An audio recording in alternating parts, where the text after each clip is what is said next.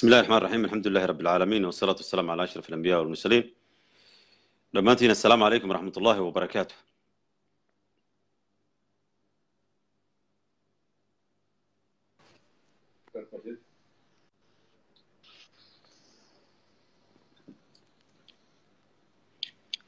السلام عليكم ورحمة الله وبركاته. آه، وادي مغليسان وعليكم السلام ورحمة الله وبركاته.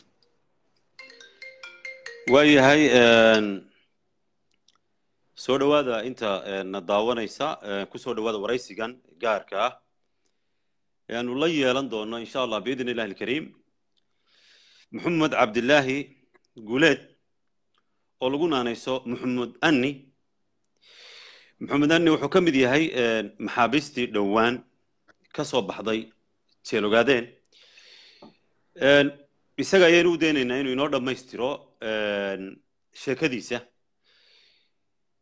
Maxamed alxamdulilah cala asalaama marka ugu horreysa ilaahay baa ayaanu u mahadnaqaynaa inaad soo baxday.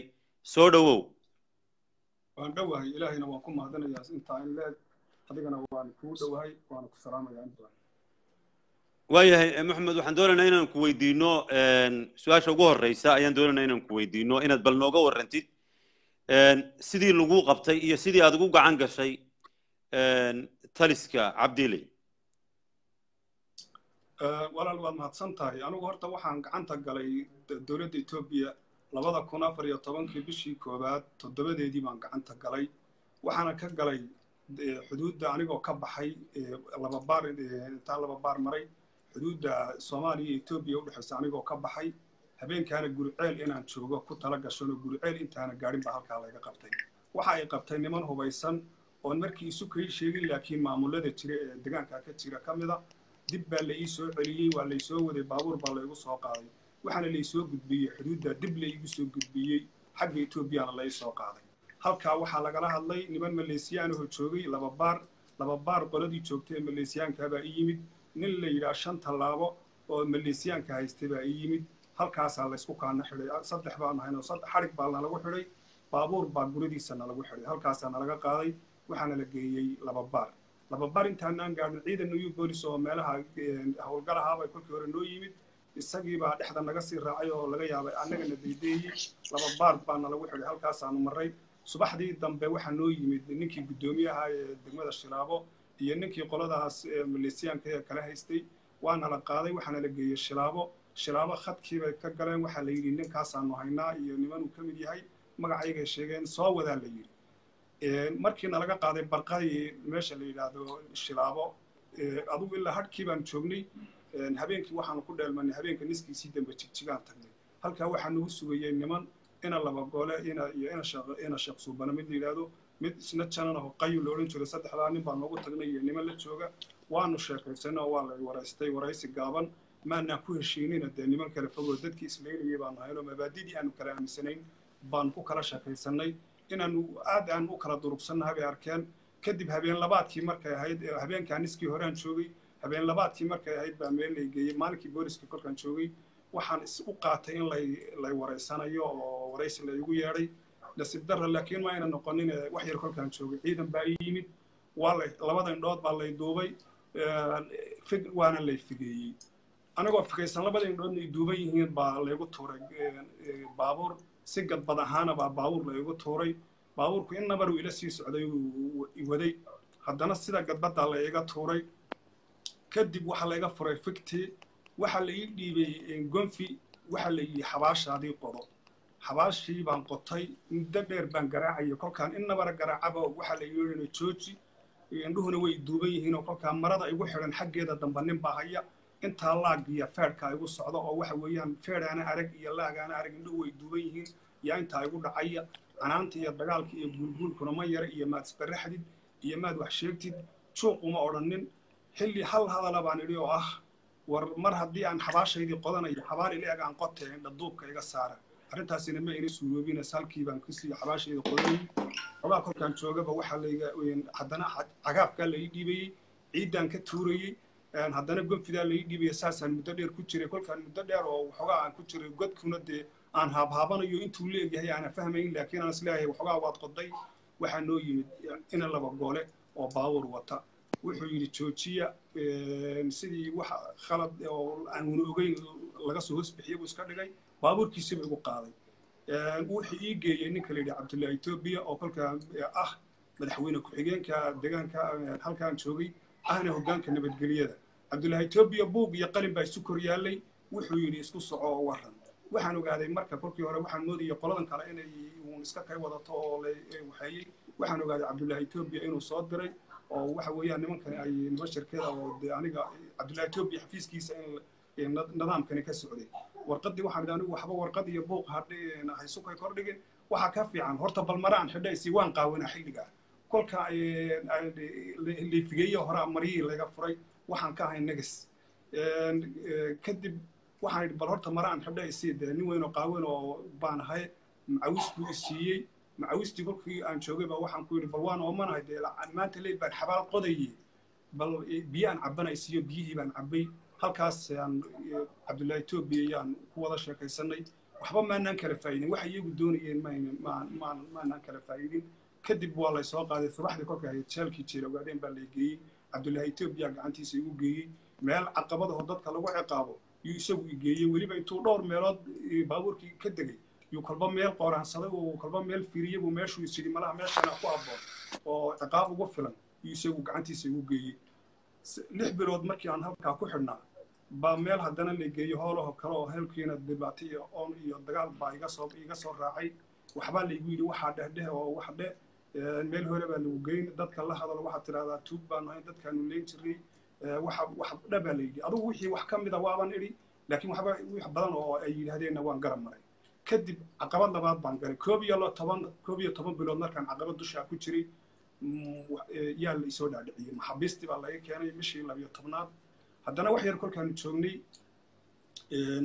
khilaaf baa dhacay cunto joojin baa dhacday iyagaa naga joojiyey cuntada iyagu markii dambe waxay cuntada waxay ugu magac dareen inaanu annaga cuntada joojiyey. Xaqiiq ahaanna saamayn ahayn iyagaa cuntada naga joojiyey. Saddex habeen iyo saddex maalmood kolkaana waxba cunin. Annagoo boqolobaa meel kore naloo saaray. Boqolkanagii waxaa dharkaana laga dhigay. Waxaa la yidhi boqolkan kadinin waa in howlgal adag lagu qaado. Waa nala qaybiyey maryihii baa nalaga dhigay. Waxaa nalagu guray suuliyaal. Waxaa nala geeyey godad yaryar oo bahlo yaryar oo shaawaro yaryar oo waxa weeyaan kuwa lagu qabaystaa waxaa nalagu geeyey meelo dadka lagu caqabadeeyo kale yaa naloo qaybiyey aniga dhowr nin oo kale meel suuliya baanu yaanu gelaynay.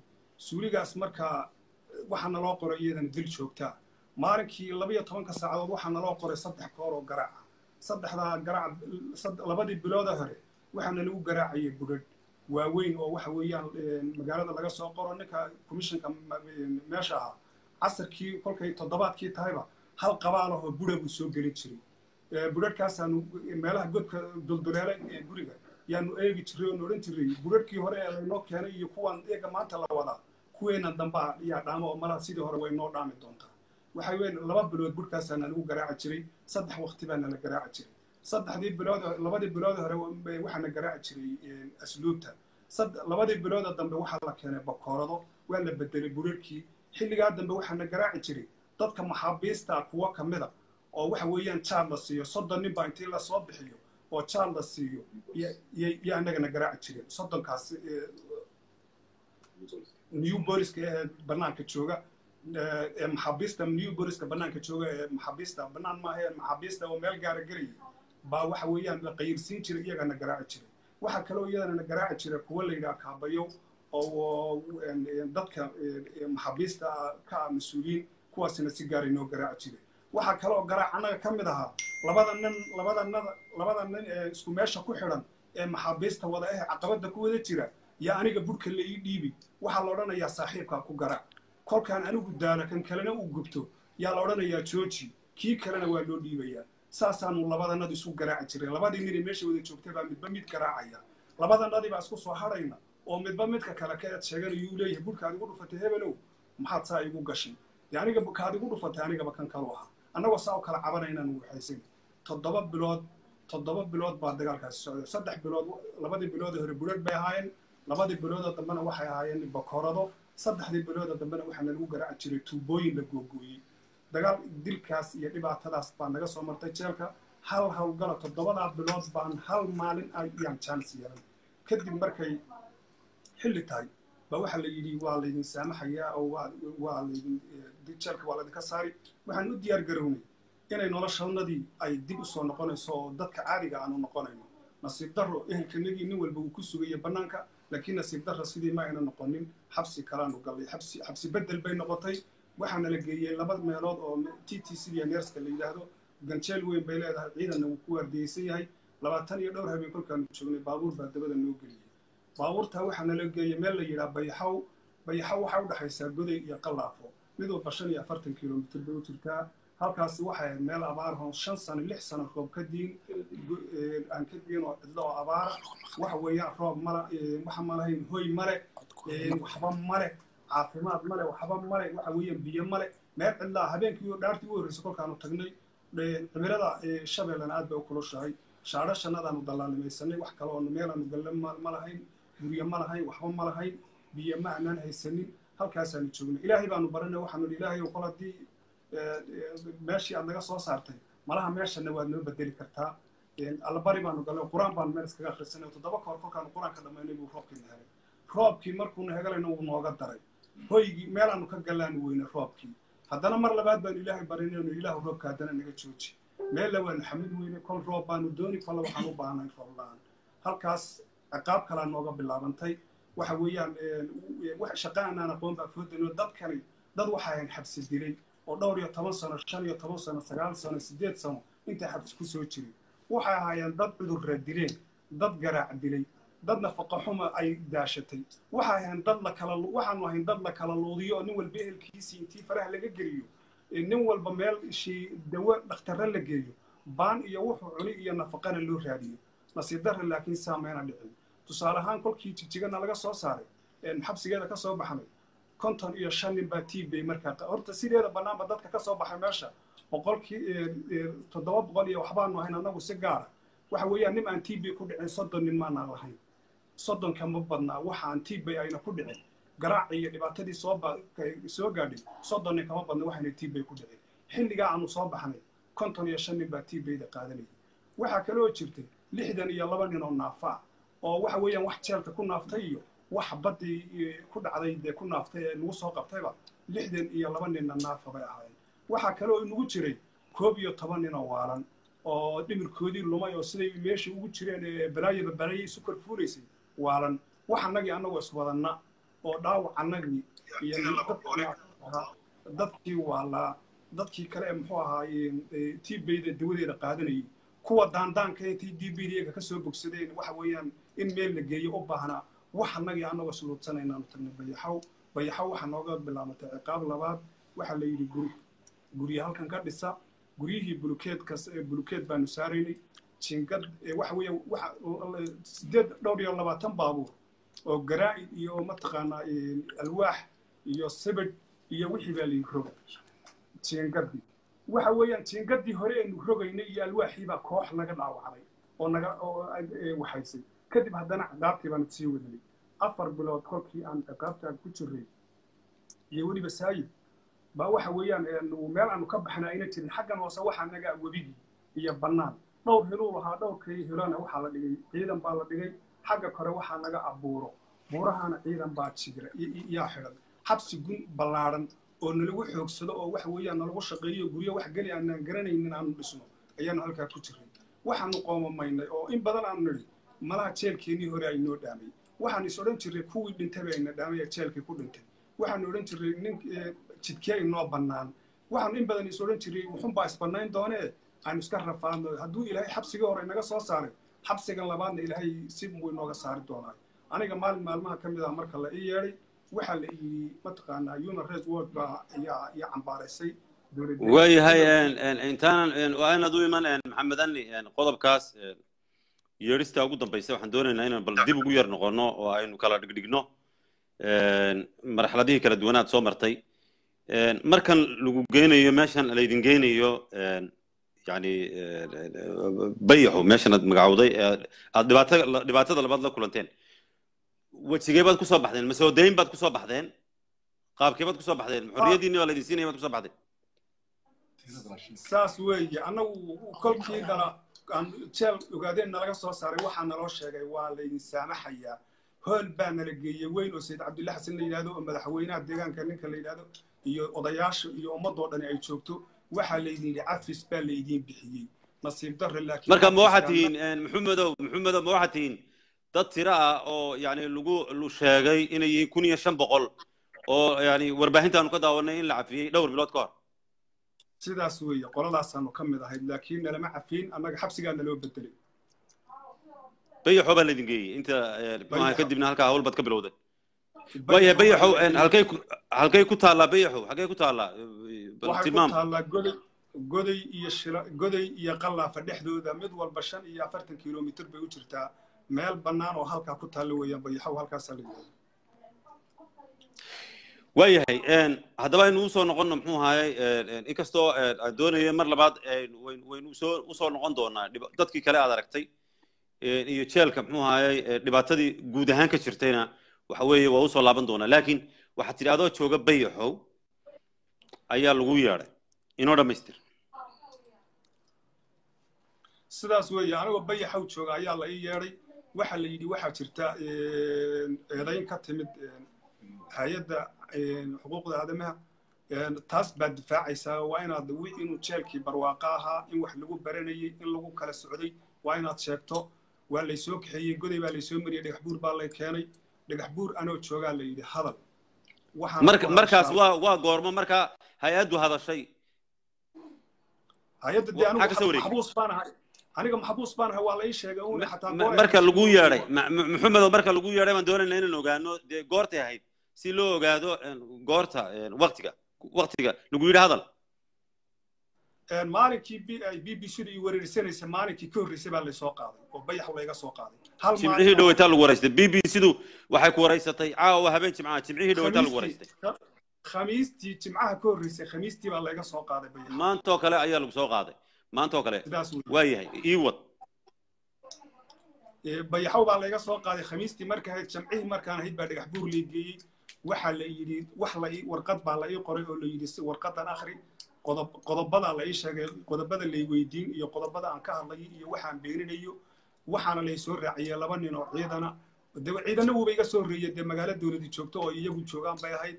Waxaa ku socoo la yidhi maalmihii madmadoobaa ee igu daraa noloshaydii bay ahayd waxaana iga ahayd inaan sheego wax beena oo dadkii la dilay ee la duudsiyey ee la xaqiray ee la baabiyey inaan anigu afkayga ku duudsiyo iyagoon mar la duudsamayno wax nin waliba xaqiisa wax daahiriyaba oo cidi daahirin oo taariikh madow halka aan ka galo.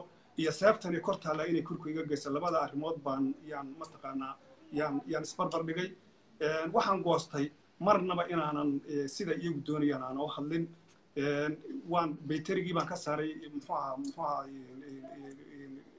mobilkii dad ila soo wacayo oon oo mataqaanaa khadkaa ka bixina. Shantii daqiiqee u dambeeyey kolkay ahayd baan idhi bal wax yar baan hadli. Waad maqlayseen baan u malaynayaa dee wax yaroo jiitan oo aan loo ba ay iyagu say doonayeen aan ahayn baan idhi. Kadib isla markiiba ciidankii meesha ila joogay wax waxaa la yidhi waddadaad qaaday waa waddo khalada warqadanaad qoran aad aad haysateen waa mid khaldan maadan maadan waddadii wadda warqadan kuu qoran waddadii lagugu talagalay ma marin. Haddana si kastaba haddee waxaan idhi bal halkanaan ka noqonayaa anigu intii karaankaygaad waan hadlay halkanaan ka noqonayaa baan idhi iyagu way iga hadheen xaafad magaalada baan habeenkii iskaga dhuntay isla markii ugu furaa waxaa ila soo hadlay qolyihii jigjiga joogay ina sheekh maxamed subanan la yidhaha ila soo hadlay. Wuxuu yidhi go'aankaad qaadatay waanu aragnaa waxa weeyaan cadow aanu hoosta ku haysanay baad ahayd annaguna waanu kuu diyaargaroobaynaa u diyaargarow xumaantaad samaysay ciidankaa kula joogana soo raac noo imow waayaha baan ciidankaan soo raacay dhibna dee wixii karaankayga waan idhi habeenkii go'aan baan qaatay de kan iyo anfacaya waxaan soo qaatay dowlad inaan deegaanka ka soo baxo etoobiyada xorta. Sug halka halka halka halka intaanad aynan gaadhin ka soo bixitaankaaga iyo go'aankaaga inaad kaga baxdid bartaas dib noogu yar celi jawigii waraysiga waxa weeye waxa weeye idaacadda b b c da ku waraysanaysa waa dooda jimcaha waa jimcihii hore. Waxaad nooga warantaa marka ayaa isku kin xidhay adiga iyo b b c da ayaa isku kin xidhay ayaa kula hadlaya wariyihii b b c da ee jigjiga ama deegaanka joogay miyuu kula joogaa? Waxaa waxaa isku kaana xidhay aniga b b c da ninta horta telefoon baa la iskaga xidhay. Waxaana isku kaana xidhayeen nin yidhi waxaan ahay wasiirka warfaafinta ee dowlad deegaankaan ahay buu igu yidhi waxaa kaloo iyadana isla telefoonka markii hore iigu yeedhay ina sheekh maxamed suubane nin yidhaahdo sheekh mukhtaar labadaa nin baana xidhiidhinayay. Mukhtaarna taban wuxuu ka mid yahay talisku ka mid yahay mukhtaar eh, eh, suubane ah, kuwa ninka bayxaw haysta weeyaan maxaabiista ku xidhan. Waa ciidanka new bolis ka mid yahay? New boliska uu ka mid yahay waa cornel new bolis waan gartay. Qoladaasaa muxuu ahaa isku xidh ka samaysay sidaas weeyaan. Waa yahay ka soco. Yani waxa weeye waxaad ka warrantay habeenkii inaad waxaad go'aansatay inaad muxuu ahay ka baxdid? Sidaas weeyaan habeenkii baan go'aansaday inaan ka baxo go'aankaygana de waan ku guulaystay habeenkii dhagax buur baan joogay baabuur baan ka soo raacay jigjigaan kaga degay baabuur aan ka diyaarsaday oo kalean ka sii raacay waxaan kaga degay iyadana baaberi baaberi mid kalean ka sii raacay. Intaa dad baa talantaali ii joogay. Diyaaradii baan haddana waxa weeyaan diri dhabaanay mid waxaan imid xafiiska diyaaradda mataqaana laga goosanayo tigidhka kii baan ka soo raacay. Aroortii markaan ka soo baxay dhagax buur casarkiiba adisaba baan kaga degay diyaaradda. Ma dareemaysaa markaa inaad muxuu ahaye yani addis ababa yani nabad ku tahay baad dareemaysaa nacam haddaba nabad baan ahay. Waa kanaan kula hadlaya sida xorta aan u hadlayo adiga kula hadlaya shalay kolkaan dhagax buur joogay xero dhagax buur joogay waxaan ku hadlayay maxbuus baan ahaa. Waxaan ku hadlayeyna ma garanaynina waxaan ku hadlayay xataa. Wax la ii sheegay buu ahaa. Waana ku noolaan waayo waan ka soo cararay. Halkan xor baan ahay. Wax ilaahay abuurtay oo nin oon ka baqanayaana ma jiraan. Sharci baa ka shaqaynaya. Dowladdii etoobiya ee ballaarnayd ee federaalkayd baa degan amna amnigaygay ballan qaadeen waxaan tegay xafiiska nabadgelyadii iyo dowladdaan u imid. Waxa weeyaan boolis baa ila jooga iyaga nabad nabadayda ilaalinaya. Haddaan xataa magaalada iska magaaladana meeshaan doonaan maraa wax ilaalinaya iyo wax aan ka baqanaya. Midna ma jiraan waana ka soo baxay meeshii laysku canshuuri jiray iyo meeshii lagu dhibaatoon jiray iyo degaankii lagu baabay waan ka soo dhex baxay. Dad xor ah oo ninku kiiskiisa mooyaane aan kiis kale loo xambaarinayn baan imid. Waana aad baanan ugu mahad celinayaa dowladda etoobiya ee federaalka iyo ra'iisul wasaaruhu nidaamkay jeexeen Eh, maanta aanu nabad aan ku helnay ee guryahannaga intaanu ka soo baqanay iyaga aanu maanta eh, la degannahay waayahay eh, maxamed dabcan waxaan doonaya inaan ogeysiiyo dadka muxuaha khadka noogu jira waxaa waraysanaynaa muxamud cabdilaahi guuleed oo lagu naanayso maxamed ani oo ah sarkaal ka tirsan ururka jabhadda xoreynta ogaadeenaya ee onlf oo ku sugan hadda magaalada addis ababa caasimadda ethiopia oo yani muddo ilaa labada kun iyo afar iyo tobankii ku jira jeerasha ethiopia oo maanta laakiin xor ah ayaa khadka inoogu jira. Dabcan waxaan ka wareysanaynaa waxyaabihii uu soo maray ee kala duwanaa isaga u gaarka ahaa iyo iyo maxaabiistii. Maxamed intaanan u guulayn maxaabiista iyo iyo dhibaatadii muxuu ahaayey dhibaatada halkaa lagu hayo waxaan doonayaa bal inaan ku weydiiyo markii lagu wareysanayey b b c da jimcihii ina soo dhaafay. Waxyaabaha runtii aadka kuu dhibayey dabcan waxaa lagu weydiinayey adigu miyaad aragtay? Yani dabcan waxa weeye hay'adda xuquuqda aadanaha ee loo yaqaano human rights watch. Waxay soo saartay warbixin kaga hadlayso xadgudubyo ka dhaca jeelogaadeen si gaara jeelogaadeen iyo dhibaatada dadkii ka soo baxay ayay wareysatay. Markaa warbixin bay ka soo diyaarisay. Waxaa lagaa weydiinayay b b c du kaa weydiinaysay miyaad aragtay baa lagu weydiinayey yani dumar la sheegayo ay hay'addu sheegayso kubsiga la sheegayo dilka la sheegayo dhibaataynta la sheegayo. Taana waan ku weydiin doonaa horta inaad aragtay iminkaan ku weydiin doonaa. Waxaan kaloo doona inaan ku weydiino yani tusaale ahaan haddii ay naftaadu halis ku jirto marka aad ogeyd in dhinacyada muxuu ahaye lagaa taagan yahay. Oo yani tusaale ahaan ma ku fakertay inaad waxaad doontid ku hadashid naftaada aad badbaadisid saas oo kale. Waad mahadsan tahay. May waxa weeyaan horta kuma fikirin inaan waxaan doonaba idhaahdo. Naftaydana aan ku badbaadiyo. Anigu naftayda dee horey baa horey baan dagaal ugu huray labiyo toddobiyo toban sanaan anigu duurka ku maqnaa. Oo inaan sharaftayda iyo karaamadayda iyo shacabkayga difaaca aan u baxay. Marka anigoo keligay ah inaan go'aan qaadan waayo oo go'aan saxa aan qaadan waayo oo aan xuquuqdii dadkayga ku tunto. Anoo shalay lahaa xuquuqda dadkaan u doodaya aan u dagaalamaya oon duurka u galay. Maanta aniga oo keligaya inaan xuquuq inaan go'aankaa qaadan waayo ceeb bay ugu tahay. Anigu uma arkaynin waxa u badanee laygu samayn karin in lay dili ahay. Saaxiibadayna hore bay u wada dhinteen qof bini aadmihina waa kii dhinta. Marka inaan si xun u dhinto aniga oo mataqaanaa beenshe beenaala ah ummadaydii xaqiraya waxa weeyaan hadalaan ku habboonayn anigoo le inaan dhinto oo waxa weeyaan qofka wuu dhintaa laakiin taariikh taariikh baa qof walba ka hadha. Taariikhdaasi inay iga hadho oo la yidhahdo maxmedani xilligii maalinkaas waa maalinku taariikhda madow galay. Waxaan ka doortay inaan dhinto waana diiday nidaamkii la igu godkii aniga la ii shirqoolkii aniga la ii dhigay waana diiday waxaanan aaminsanaa xilligaa ay aniga hadali lahaayeen inay rabeen inay aniga kaarka gubaan iyo rag kaarku ka gubanya oo iyagu sharaftoodii iyo sumcadoodii hore u luntay. Anigana inay iga gubaan inay doonayeen arrintaana waan ka diyaar umana suuroobin kuwii sidaa damcay. Anigana waxa ii suuroobay wixii aan doonayey oo ah inaana waxaan odhanin meeshaan doonan aan iska maroon maanta xora.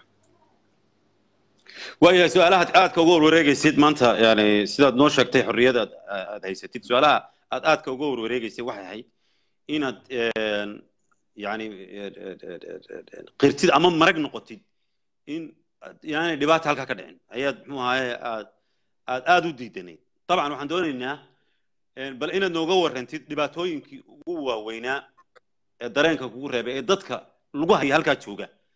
Inaad midh iyo laba iyo saddex iyo wixii aad ka gaadhidba muxamed nooga taabatid dee walaal horta de wixii dhibaatadii martanka ka dhacday caaw wax badan baan ka sheega aan u malaynaya. Waxaan ka sheegayay waxaan ku sheegaya inaan in nala garaacayay maalinkii afar jeer maalinkiiba saddex jeer nala garaacayay. Waxa waxyaalihii aniga difaac laylahaa waxaa ka mid ahaa inaan kufsi jirin. Kufsigu wuu jiray si ballaadhan buu jiray. Gabdhaha maanaan isu iman jirin laakiin toddobaadkiiba laba jeer baanu meel iska soo horjeedba ayaan imanayni. Waxaanu arki jirnay mar walba gabadh shalay gabadh ahayd oo keligeed ahayd oo ilmo wadata. Annagu oo ilmo wadata. Haddana waxaanu arki jirnay gabadhii oon ilmo wadanin oon waxaanu isweydiin jirnay gabadhii ilmihii miyaa laga dilay mise meel bay soo jiibsatay. Waxa kuu caddaynaysa marka in gabdhaha gabdhahan kufsi baa jiray.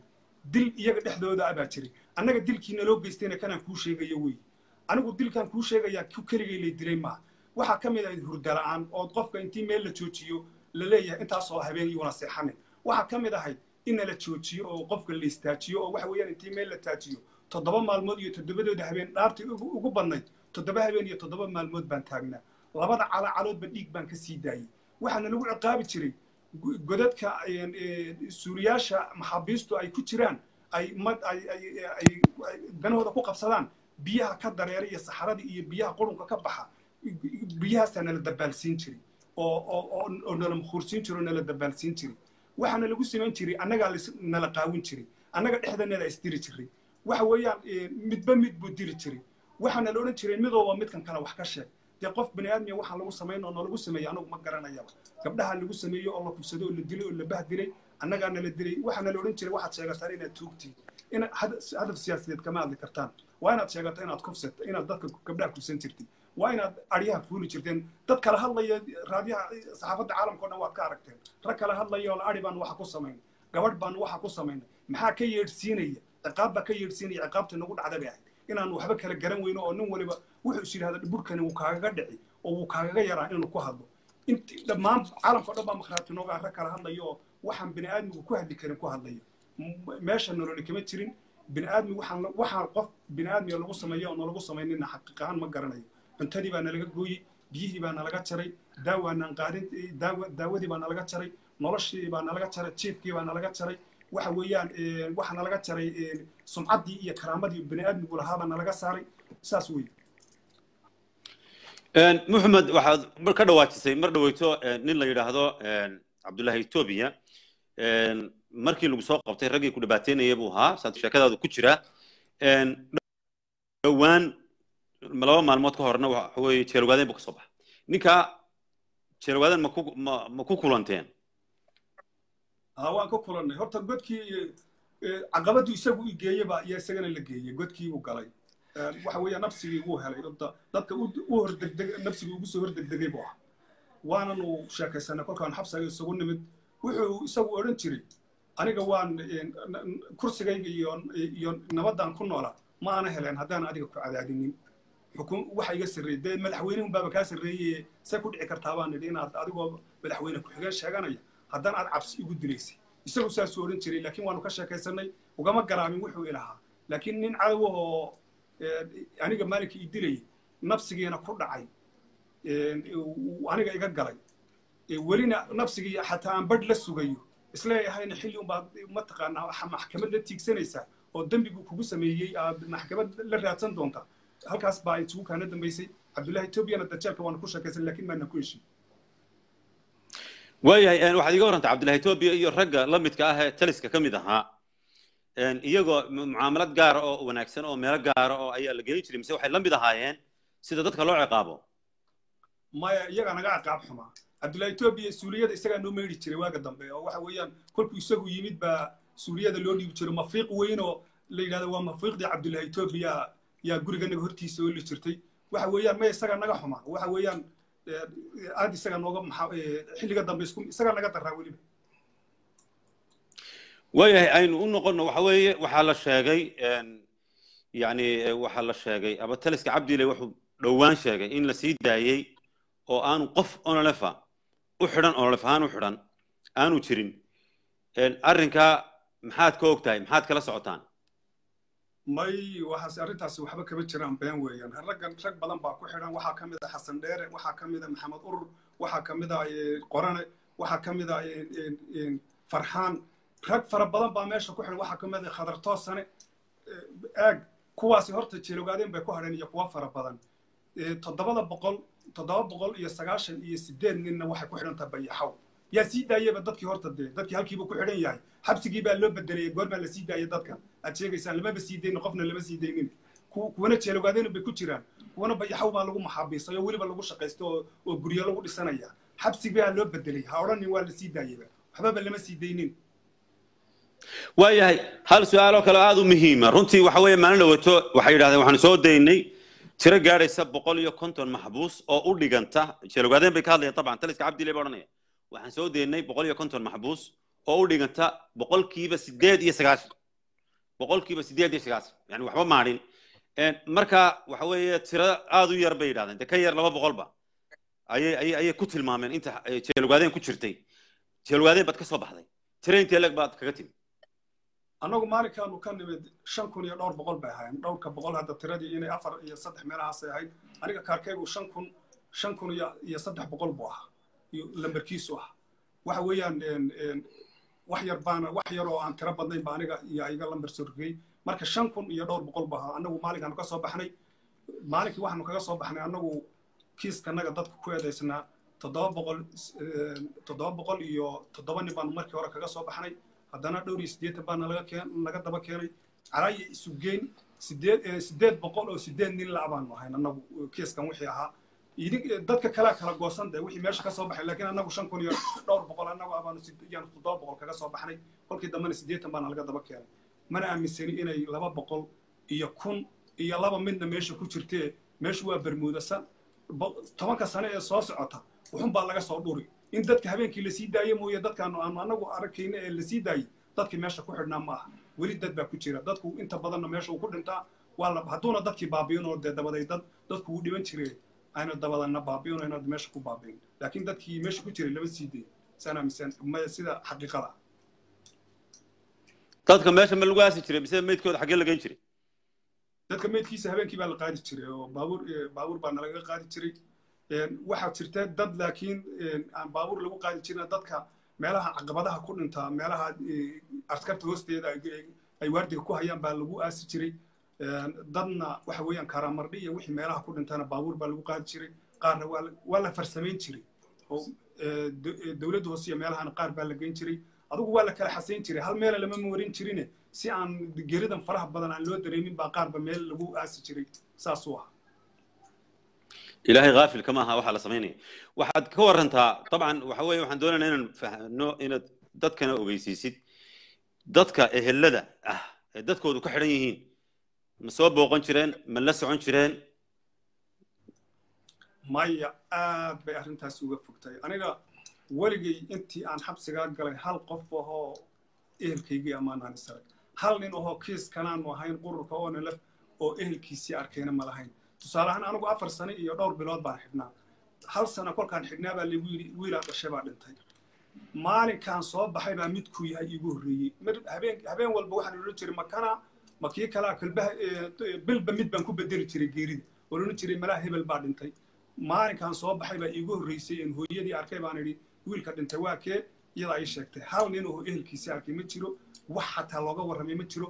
Waxaaba mamnuuc ahayd xataa dadka kale ee maxaabiistii inay nooga warramaan baa dilahayd oo khalad ahayd ninku kolkuu soo galaa waxaa la odhan jiray nimanka ururka onelaf ka xidhan ninkii u warramay ee ehelkiisi uga warrama ama dana uu leeyahay iyo wax uunaga warrama waa dembiile iska ilaali wax nooga warrami jir manaanan arki jiray ninkii nooga warramaana dembiil uma aha arrintaas arrin dhici kartaba ma baha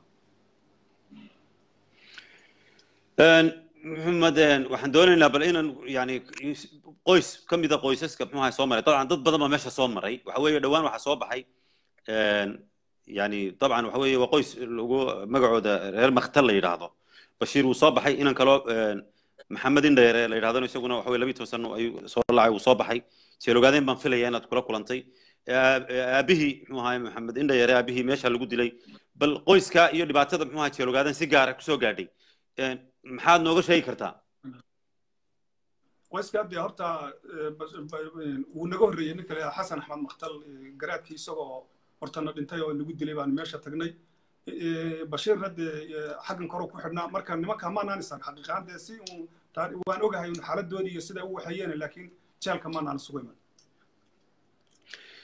waayahay waxaan doonaynaa oo kale inaan bal yani inoo iftiimisid yani tusaale ahaan waxa weye dabcan waxa weye carruur baa dhalanaysaa carruur baa dhalanaysa halkaa ku dhalanaysa carruurta waxa weye dumarka waa umulayaan markay umulayso daryeel caafimaad bay u baahan tahay carruurtii muxuu ahaay waxa weeye waa arrimo badan bay u baahan yihiin carruurtii waxa weeye waxaad sheegtay marka qaarkood carruurtii oo la waayayo maxaa idinka soo gaari jiray carruurta miyaa laga qaadi jiray hooyooyinka sidee baa loo daryeeli jiray muxuu ahaayey bal nooga warran hooyooyinka halkaa muxuu ahaayey ku balanbalay carruurta badankooda waa la leyn jiray kolkay kuwa kuwa meesha carruurta ay kufsiga ku dhalata ee gabdhaha farxumaynta ku dhalata badankooda wax yar kolkay joogtaba waa la dili jiray.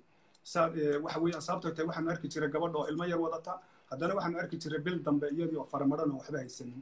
Carruurta badankeedii waa la laayey wax yarra uu dibadda u soo baxay. Waxa weeye dabcan yani muxuu ahaye dhulka yani soomaaliyeed ethoobia haysato. Waxaa jira rag soomaaliya oo yani dadka dhibaataynaya oo hebel iyo hebel ah. Marka dabcan waxa weeye sarkaal onolef waa tahay xog badan baad u haysaa. Dad badan bayna daawanaya iminka. In ka badan saddex kun oo qof bayna daawanaya. Hadhowtana wayna daawan doonaan. Waxaan doonaynaa bal shakhsiyaadka dabcan way badan yihiin dadka geysanaya dhibaataynta. Marka shakhsiyaadka ugu muhiimsan iyo waxyaabaha ay sida gaarka u geystaan rumuusta yani kow iyo laba iyo saddex dadka ugu ugu ugu ugu ugu dhibta badan dadka dhiba waa kuwa ma. Waa sax weeye. Horta dee waddanka group yar oo aan yar baa yaa yaa gacanta ku haya oo maamula. Iyagaana iyaga waxay doonaan dila iyaga waxay doonaan xaraam xaaraan ka dhiga iyada waxay doonaan xalaal ka dhiga ninkay doonaanna dila waxa weeyaan madax ninkan cabdi ile la yidhaha madaxweynaha ninka la shaqeeyo oo la yidhahdo cabdi cabdiraxmaan labagoole oo jananka sheekh mukhtaar maxamed subane nin la yidhaahdo cabdullaahi etoobiyahan oo iminka unbay seeftu qaaday waxa weeyaan dadkii ninkii dadka la baabiyey ahaa ee horay ula waxaynayey rag ragga ugu daran ee waxa weeyaan la odhan karo waxa weeyaan mahmuud bay ka yihiin. Ya waa kuwa. Laakiin dee kumanaan waxaa jirta kale oo iyaguna saraakiil ka hooseysa oo kuwa falka fulinaya gacantooda ku kuwani amar bay bixinayeen. Kuwa gacantooda ku fulinayena waa boqolaal. Haddii loo baahdana magacyadooda waanu haynaa badankooda. Haddii loo baahdo ya way. badan yihiin haddii loo baahdana waa soo bandhigi doonaa waxa weeye aad ood maasad. Waxaan doonaynaa dabcan deegaankaad joogtay waxaad ahayd muxuu ahay hogaamiye meydaanka jooga ayaa tahay. Bal waxaad nooga warantaa jaraa'imkii dadka waxa weeye ma jiraan warbaahin ka soo warranta. Dhibka halkaa jirta aad bay u yar tahay warbaahin inay soo duubto oo dadka soo waraysato ama dadku inay si xorriyada u hadlaan. Waxa weeye meeshii baad joogtay intaan lagu xidhin.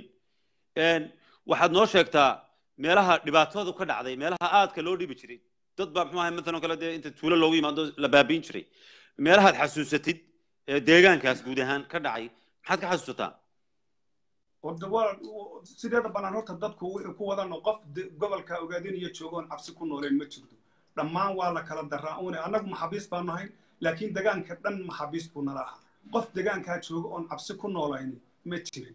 Haddii laakiin si gaara aan u taabto meelihii gumaadku ka dhacay waxaa kow ka ahaa bulladari waxaa ka mid ahayd meesha la yidhaahdo haljiid waxaa ka mid ahayd galaalshe. Waxaa ka mid ahayd ceelo obo. Waxaa ka mid ahayd dhagax madow oo dad nool nool intii xabashi lagu rogay. Waxaa ka mid ahayd meesha la yidhahdo yoxoob gabdhaa intii naasaha la googooyey yaa iyagoo nool naasahoodiina meel lagu aasay iyagiina xabaa lagu riday. Waxaa ka mid ahayd gunagado waxaa ka mid ahay oo laba jeer sannadkii laba jeer mid walba soddon iyo dhowr nin qof lagu dilay haweene iyo carruur waxaa ka mid ahayd baarta waxaa ka mid ahayd anunu waxaa ka mid ahayd guracan waxaa ka mid ahayd mataqaana. Meel kasta oo degaanka labayo tobanka caawa haddaan kuu tiriyo dadkii sida wadarta loo leynayo ee tirada ugu yari ay tobanka ahayd labayo tobanka caawa waan wadi karaa. Waxa weeye adiga iyo dhowr iyo toban nin oo kale baa soo hadhay made dadkiisoo ma baabiinoo xabad baa lagu baabiyey iyo wax dadka degaanka jooga qof la dilay qof jeelogaadeen la geeyey qof dhaawaca qof waddanka ka baxay oo casaday wax yaroo iyaga ku hoos nool oo aan laclacaho suulay oon macno lahayn oo kolba dhankii loo kaxeeyo daba ordaya intaasaa waddanka ka soo hadhay maxamed waxaad noo sheegtaa dabcan jeelogaadeen baa ugu ugu caansan dadku maqlaan jeelogaadeen jeelogaadeen jeelal kale ma ka jiraan? Maxaa ku jira? Dadka ku jira waana halkee nacam waa laga gobol aan jeel lahayn iyo degmo aan jeel lahayn ma jiraan. Jeelkani waa meesha lagu soo shumee u dambaysa laakiin gobol waliba wuxuu leeyahay meel dadka lagu ciqaabo. Qofku kolkuu gobolkiisa iyo degmadu ka bilaabma ciqaabtu ay ka bilaabantaa mee degmada kama bilaabantee askariga xeryahooday ka bilaabantaa askarta xeryaha new booliska xeryahooda halkaasaa lagu soo ciqaabaa degmaa lagu soo dhoweeyaa degmadaasaa sii ciqaabta. Waxa weeyaan gobolkaa la keena gobolkaa lagu sii xidhaa intaa kolkay jaranjaradaa soo maraan ee rafaad iyo silcoos dhan soo dhammaadaan yaa dadka iyagoo isle malaha meel dowladdu joogto oo jeel ballaadhan oo aad ku nasataan baa laydin geeyey iyo cadaabkan kale u dambeeyena la keena. Waxa weeyaan jahanabaa la soo mari jixiimaa lagu xigsiin waxa weeyaan samahariiraa la soo mari. Cadaabyada magacyadoodii oo kale unbay leedahay jeelashu waayahay maxamed waxaanu taaganahay gebagabadii qayb barnaamijkana maalin kale ama qayb kale u yeelanayaa waxa weeye dadkan waxaan ballan qaadanaa inay qayb kale jirto insha allah waxaan doonaynaa intaynan ka bixin laba arrimood baan doonayaa inay muxuu ahaayey midna aad iminka aan ku siinayo ereygaaga aad la hadlaysid ummadda soomaaliyeed ee ku daawanaysa oo waxa aad jeceshahay iyadoo aan su'aal lagu weydiin fariintaada aad ka gudbinaysid halkan. Qodob taasi waan ku siin doona laakiin waxaan doonayaa inaynu bal dib ugu noqono dabcan waxa weeye su'aashii ugu horreysay aan ku weydiiyey aniga waxbaa igu dhacay. Waxaan aada ugu mashquulay farsamada barnaamijka waxbaa igaga dhacay barnaamijka tooska ah oo waxba videogi baa wax ku furmeen oo oo waxa laga yaabaa inaanad ila socon. Marka waxaan doonayaa bal aniga iyo muxuu ahaa dadyowga soo galay inaad hal su'aal noogu celisid jawaabteeda oo ah halka lagaa qabtay qaabkii lagu qabtay ilaa qabashadaada inta jeelka lagu soo gelinayay inaad mar labaad si degan noogu sheegtid. Aniga waxaa layga qabtay guriceel iyo meel u dhexaysa laba baar. Waxaana waxaa degaanka soomaalida gobolka degmada muxuu ahaa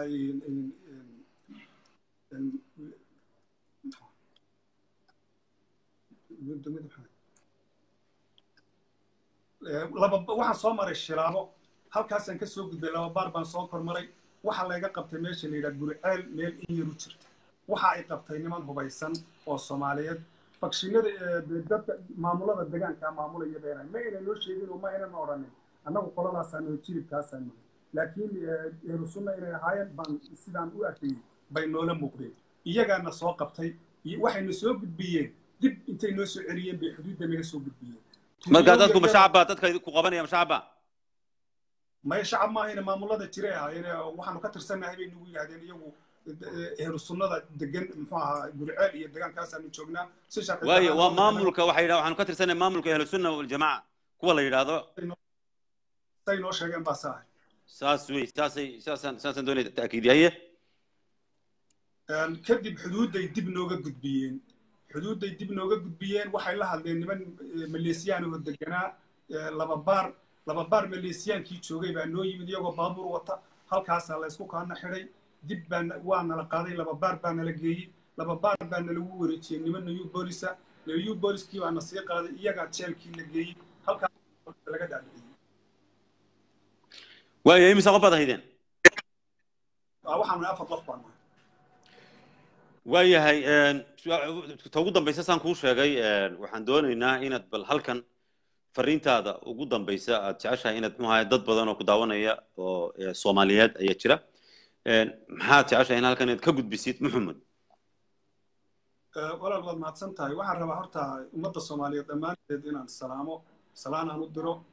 Waxaana ku faraxsanahay maanta inaan hawada ku soo noqday. Anigoo muddo dheer suulsanaa oo marna jeel ku jiray oo dadkii aakharo ahaa oo aakharo xataa maanaan gaadhin aakharo abaal baaban ku qabnay meel aakhariya adduunka udhexaysa muddo dheer aanu ku jirray inaanu dadkii soomaaliyeed iyo saaxiibadii iyo ehelkii ay maanta caawa ay daawanayaan inaan nool ahaa oo nabadahay. Arrintaa waan ku faraxsanahay waxaan ku faraxsanahay oo kale inaan ra'yigayga ka dhigto ummadda soomaaliyeed. Ummadda soomaaliyeed waxaan odhan lahaa muddo dheer baa waxaa idin daashaday maamullo fadhiida oo iyagu isdaba guraya. Ummaddoodana aan nacfu lahayn oo fadhiida waxaanad moodaa sida sida aan anaguba nahayna ah. Degaanka halkan soomaalideena annagu ka midka nahay. Sida waxa anagu nagu dhacay waxa ka iya ka sokeeya baa idinku dhacayo maamullo isjiirjiiraya oo mataqaana aan midaysnayn baa muddo dheer idin soo haystay.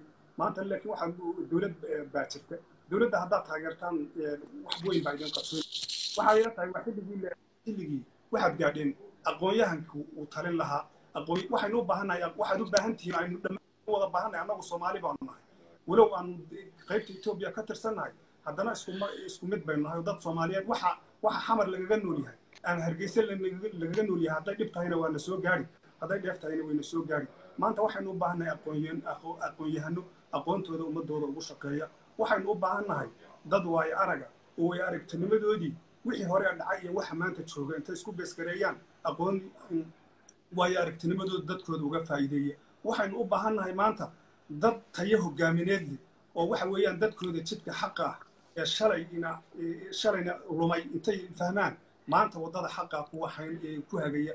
Waxaynu maanta aynu u baahannahay dad tayo hogaamineed leh oo waxa weeyaan xaquna inay wax hogaamiyaan dad badan oo waxaa jirta gacanta ay u gashay hogaaminta ummaddu laakiin aan xaq u lahayn waxba hogaamin karin waxaynu u baahannahay dad cadaalada oo waxa weeyaan ummadda si cadaalada u hogaamiya oo aan oo aan qabiil iyo qabyaalad iyo qurun ku jirin oon odhan taandirkeeda aqaana ku soo daayey soomaalinimadu ay deeqdo waxay la tahay maanta fursad baad haysataan wixii hore idin dhaafay waxbaha ka soo qaadina. Maanta tala idinla gudboon ra'yigiina iyo xooggiina iyo aqoontiina intaad midaysaan ummaddii soomaaliyeed qiyamkeedii lumay.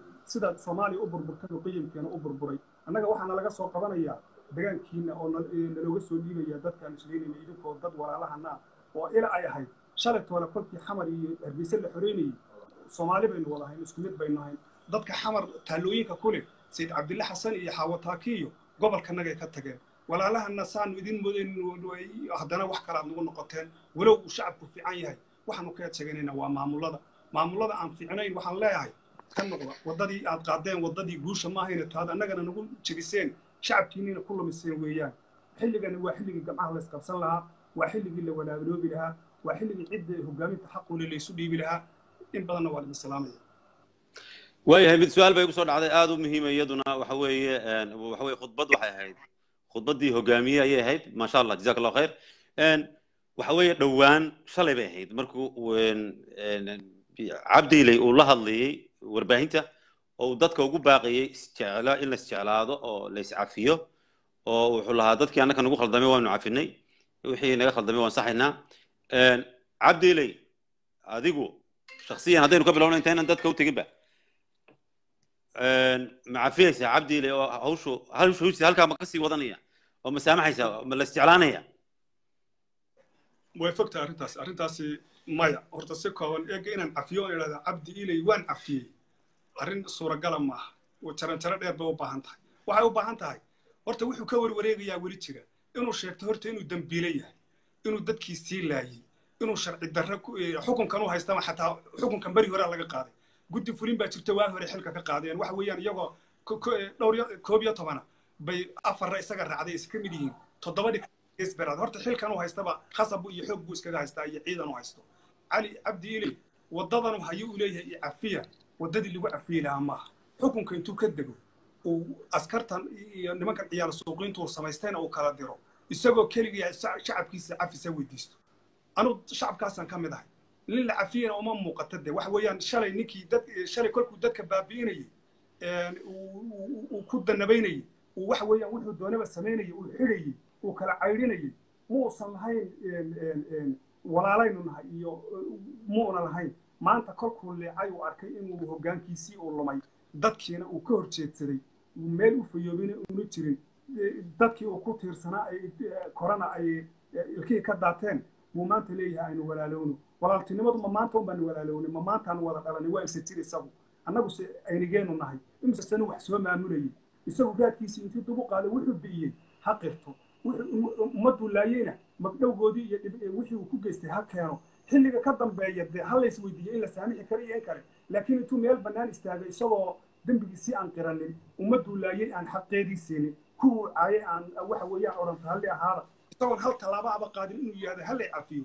Suuragal maaha see lagu cafiyey dee waddadiiba ma haye waa dhulkaan sii haysane isya iyo cafiya maxay tahay? Muxukun iyo cafi baan isugu ma dadka uu laayo iyo cafi baan isugu daraa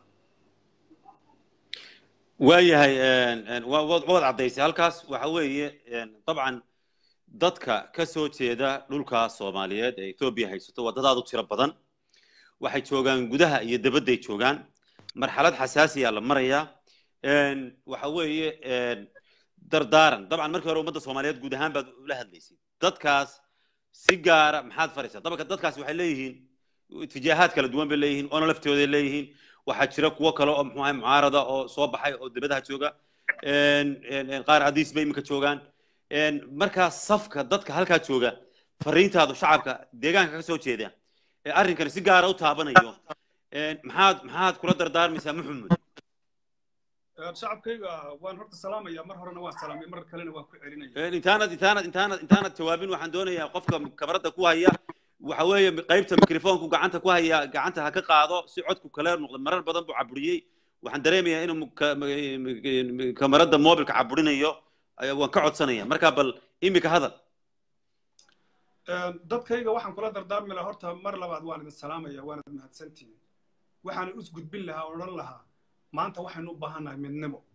Inaynu kala firiqno oo aw midba meel maro wixii inagu dhacay waad garanaysaan sababteeda bay ahayd. Haddaynu isku duubannahay cabdi iley iyo nin waddo khalad ahayaa midna inama waabiyeen.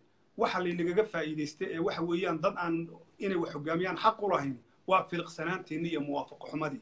Maanta waxay waa maalinkaynu midoobi lahayn waa maalinkii aynu xaqii inaga maqnaa aynu heli lahayn. Cod baynu maanta ku heli etoobiyana dowlad baa ka dhalatay cusub oo nin walba xaqiisa u ogol oo wax lala qabsan karo oo lala shaqaysan karo oo waxa weeyaan nin walba xaqiisa bannaanka u dhagaysta maanta waxaynu u baahannahay midnimo. Waxa koowaad iyo waxa labaad iyo waxa tobnaad aynu u baahannahay waxa weeyaan ra'yigeenna iyo xooggeenna iyo waxa weeyaan aqoonteenna inaynu midayna. Intaa keliyaynu u baahannahay walaalayaalow jid waynu aragnay kala filiqsanaantii iyo burburkii nagu dhacay iyo sababtii iyo dhibaatadii ay noo geysatay waynu nin walba macallin baad u tahay. Maanta midnimaynu u baahannahay wixii tariskan baaba'aya burburayna ciddii ka tirsanayday istakfurlayso wixii hore aad bi'isay wax ka damba ha bi'inin. Halkaa aad taagan tahay istabdhig joog. Wax damba ha sii bi'inin. Waxaa laga yaabaa ummadaadu inay ku cafido haddaad galgalashada dambe iyo dhibaatada sii dayso kuwa ninkankadi tegay garabka u how iskaga hoos bax wuu idinku dumay nin nool maaha ninkanaad hoos joogtaane gebigan soo dumayuunu idinku dumin kuwa wixigsanaya hanka lahayo maalinkaad wax qabsan lahaydeen weeye waa maalinkii waxa weeyaan kuwii cadowgahayo xoogga idinku haysta ee waxa weeyaan xaqdarrada idinku haystay iyo inayna gruubkiisiina ay niceen xaqiina uu dilaacay geeska afrikaba aan wax iska bedelayo. U diyaar garooba hanashada xorriyaddiinna iyo midnimadiinna iyo walaaltinimadiinna iyo maamulkiinna u diyaar iyo wada dhalashadiinna iyo wixii idinka lumay maanta u diyaar adillahi aad iyo aad baad u mahadsan tahay intana daawanaysa kaasi wuxuu ahaa maxamed cabdilaahi guuleed oo ah sarkaal ka tirsan ururka jabhadda xoreynta ogaadeniya onlef oo ku sugan magaalada addis ababa oo muddo yani afar sannadood oo ku soo qaatay jeelasha ethoobia gaar ahaan jeel ogaadeen iyo kadibna muxuu ahay dadkii lagu shaqaynayay meel bana oo la yidhi dadka guryaha lagu dhiso banka bayaxow kana soo baxsaday dhowaan ka soo baxsaday oo ilaahay ka soo badbaadiyey. Jooga maanta nabad ku helay magaalada addis ababa caasimadda ethoobia waraysigani waa qaybtii koobaad insha allah maxamed ani lilqisati baqiya. Sheekadu dhammaystir ayay leedahay. Baaqi baa hadhay. Waxa weeye in baa hadhay intaana waxa weeye qaybo kala duwan baanu insha allah maxamed ku ugu yeedhi doonaa halkan facebookan tooska oo inooga warrami doonaa waananu u mahad celinaynaa runtii maxamed waxa weeye dardaaran buu ugu dambeysiyey oo ugu yeedhayo oo aada u muhiima. Yani dadka halkaa ka soo jeeda deegaanka ka soo jeeda dhulkaa soomaaliyeed ay ethoobia haysato oo taliska cabdiiley ka taliyo inay midoobaan oo yani kala tafaraaruqu dhibtii uu lahaa ayuu ka warramay. Farriintaasi waxay ahayd farriimaha ugu muhiimsan ayay ahayd. Waxyaabaha kale oo runtii aynu hoosta ka xariiqayno oo maxamed sheegay maxamed sheegay waxaa ka mid ah in maxaabiista yani jeelogaadeen ay ka badan yihiin shan kun oo maxbuus ayuu sheegay. Halka taliska cabdiile inoo sheegay yani inay ka yar yihiin laba boqol oo maxbuus laba boqol. Hadda shan boqol maaha kuna maaha laba boqol oo maxbuus ayay ka yar yihiin. Oo waxay sheegeen inay soo daayeen markii ay soo daayeen boqol iyo konton qof sida ay sheegeen inay soo daayeen boqolkiiba sideed iyo sagaashan. Waxaa kaloo jira jeelal badan oo taliskaas hoos yimaada oo magaalo kasta iyo gobol kasta oo dhulkaa ka tirsan oo ay dad tiro badani ay ku xidhan yihiin oo iyaga aan warkooda diiradda la saarin. Laakiin hay'adda xuquuqda xuquuqda aadanaha oo arrin weyn iyaduna samaysay human rights watch waxay culayska saartay jeelogaadeen waxa uu kaloo hoosta aynu ka xariiqaynaa oo inoo sheegay muxamed xilligii ay b b c da idaacadda b b c qaybta afka soomaaligu ay wareysanaysay oo ay tiri khadka telefoonka ayaan ku wareysanaynaa inaanu xor ahayn oo laga keenay bayaxow meeshii xoogga uu ku dhisayey isaga iyo maxaabiis tiro badan la keenayna magaalada dhagax buur. Halkaas oo la yidhi u waran b b c da u waran oo beni warbixinta xuquuqda aadanaha hay'adda xuquuqda aadanaha ee human rights watch soo saartay oo sheeg wax ka duwan wixii ay sheegaysay. Maxamed runtii aad ayuu uga warwareegay waa waraysigii. Caanka ahaa ee aanu idinla wadaagnay dadyo badanna ay ka faalloodeen yani in badan buu ka warwareegay inuu qiro yani dulmi halkaa ka jira aad ayaanu ugu mahad celinaynaa maxamed yani waraysigan uu ina siiyey iyo waktigan uu ina siiyey aad baan uga mahad celinaynaa waxaan ka baryaynaa dhibaatadii soo gaadhay isaga iyo dadyo badan oo lagu dhibaateeyey inuu khayr ugu abaal mariyo. Waanaad mahadsantihiin dadka muxuu ahay khadka noogu jiray? Waxaanan u mahad celinaya. Yani dadkii barnaamijkan fududeeyey aad iyo aad bay umahadsan yihiin. Waxaa ka mid a suldaan fawzi muxamed maxamed oo ku sugan isaguna addis ababa. Suldaanku waxa weeye koob iyo toban sano ayuu ku xidhnaa. Jeelasha ethoobia dhibaatuu soo maray. Runtii isagana mar baynu muxuu ahay waraysi ka qaadaynaa. Sidoo kale waxaa isaguna ka qayb qaatay barnaamijkan fudaynteed isku xidhka caydaruus maxamed cabdi oo ku sugan dalka jarmalka. Aad ayuu u mahadsan yahay. Sharmaarke oo yani kamarada u haya dadka aanan xusin ee iyaguna ka agdhow ee fududeeyey oo runtii aad baan runtii iyagana uga mahad celinaya waxa weeye maxamed waxa weeye iyo keyrkiiba dadkii jirasha soo arkay waxa waan soo gudbin doona. Waxaa kale oo aad la socotaan oo maalmahan socda barnaamij la yidhaahdo maalmihii murugada. Waa shan maxbuus ama maxaabiis hore oo ka soo baxay jeelasha ethoobia oo aan ku waraystay muqdisho oo aan ku suganahay hadda. Waxa weeye laba maxbuus ayaan soo daynay. Kuwo kalena waxa weeye saddex baan u hadhay iyagana waan soo dayn doonaa. Maxamed cabdilaahi guuleed maxamed ani aad ayaad u mahadsan tahay. Waanaad mahadsantihiin intana daawanaysay. Asalaamu calaykum waraxmat wabarakaatu adiguna waad mudan tahay. Assalaamu calaykum waraxmat wabarakaatu